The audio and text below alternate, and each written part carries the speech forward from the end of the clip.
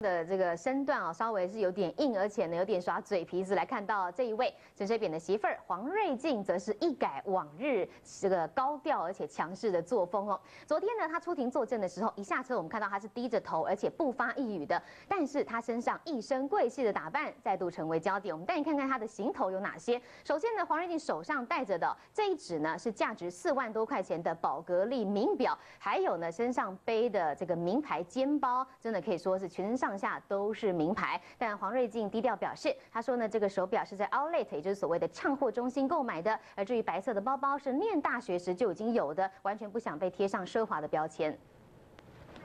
镁光灯闪个不停，出庭作证的黄瑞静仍旧是媒体焦点。尽管低调的走在后头不发一语，但黄瑞静身上的名牌可是丝毫不少。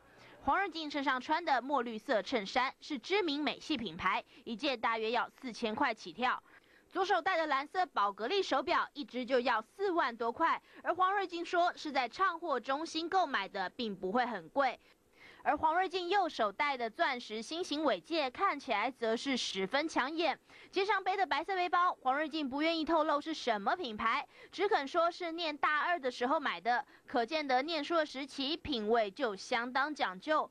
但黄瑞静似乎也想强调，这不是什么新买的名牌，只不过是旧东西而已。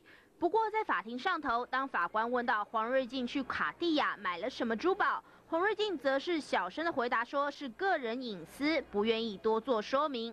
黄瑞静这回出庭应讯，买了什么精品，用了什么名牌，倒是又成了新闻焦点。中央新闻陈方翟轩台报道。而另外。